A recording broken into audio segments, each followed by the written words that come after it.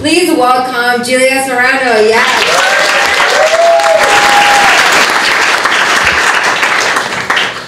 Hello.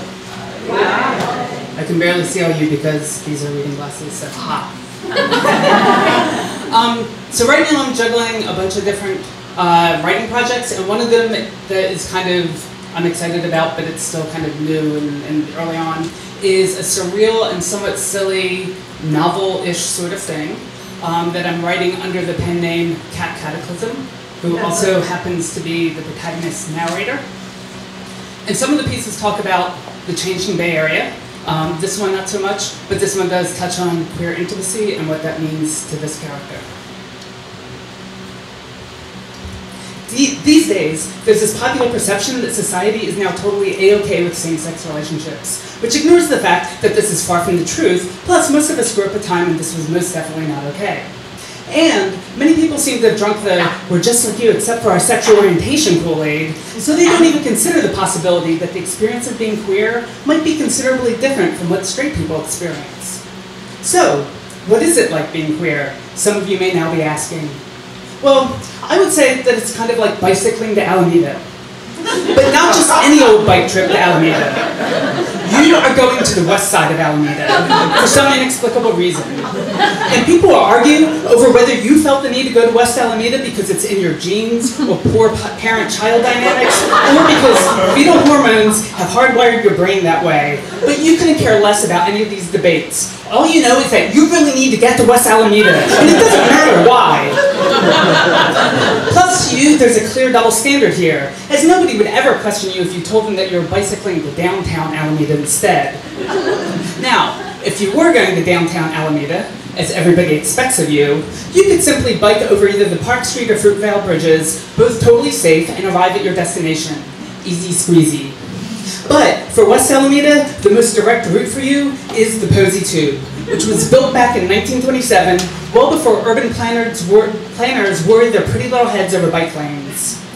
All they left you is a one-person wide pathway perched on one side of the tunnel, just above the racing cars below, with only a guardrail separating you from your impending death. The signs tell you to walk your bike, but if you did that, you'd be in the tube all day. So you precariously pedal your way across the Oakland estuary, albeit way underneath all the water. And it's outrageously loud in the tube due to the cavernous echoing of all the car and bus engines. It's almost deafening and your eyes are peeled on the tight path that you are navigating, as one small slip-up could potentially cast you over the guardrail. So your senses are overloaded, and you are on the verge of freaking out, or screaming, or crying, or dying, or possibly some combination thereof. But you keep on going. Not because you're brave or courageous, which I suppose are pretty much the same thing, but because there's no other way to West Alameda, and that's where you need to go. But then lo and behold, you see someone approaching you from the other direction. And you have to go get off your bike, and they need to do the same because the path is so narrow. And you'd think this would be a huge inconvenience, having lost all the momentum you built up, but strangely it's not. And as you squeeze past one another, the two of you make eye contact and smile. Not the fake sorts of smiles that accompany the exchange of everyday pleasantries, but rather the genuine knowing smiles of people who share the same intense and potentially traumatic experience. And in that brief moment, sorry, in that brief moment, the two of you make a profound human connection unlike anything you've felt before. Because only a moment ago, you were both completely alone in a dark tunnel, freaking out and afraid of dying. Both, but now both of you realize that you're not really alone after all. And it's beautiful. But it's also a little sad that you had to experience all that fear and loneliness in the first place. So that's what being queer is like, at least in my estimation. now, queer communities, it's an entirely different thing. That would be like if you decided to round up all the people who've ever bicycled through the Posey Tube and put them all in the same room together. At first, you would all bond over your shared experiences traversing and surviving the tunnel. But fairly shortly after that, you would have you would all start to realize that you have nothing in common but this one thing. After all, you each come from different backgrounds and have different personal political views, not to mention different bicycles. and factions would develop. For instance, between people who bicycle through the tube in different directions. Because let's face it, while the mainstream majority doesn't understand why anyone in their right mind would ride their bike through the Posey Tube, it'll be easier for them to accept people who desire to go to downtown Oakland rather than those who desire to go to West Alameda. Because why would you go to West Alameda?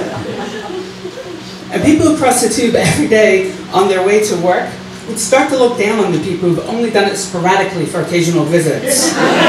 or, or the people who used to do it all the time but no longer do because they've switched, since switched jobs or moved elsewhere.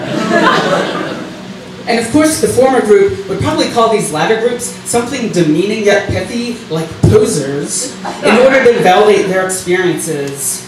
Even though they did have those experiences, those special moments of fear and recognition and intimacy amidst the precarious, cacophonous tunnel. So now we're going to skip ahead. I'm going to get support. Hmm.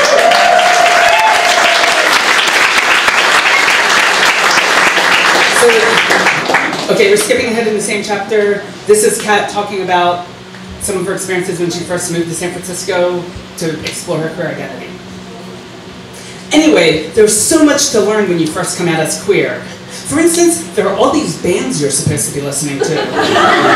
because they're the only ones speaking directly to the lesbian experience. And there are specific haircuts, style of dress, and even tattoos that you can sport in order to signify to people in the know that you are family.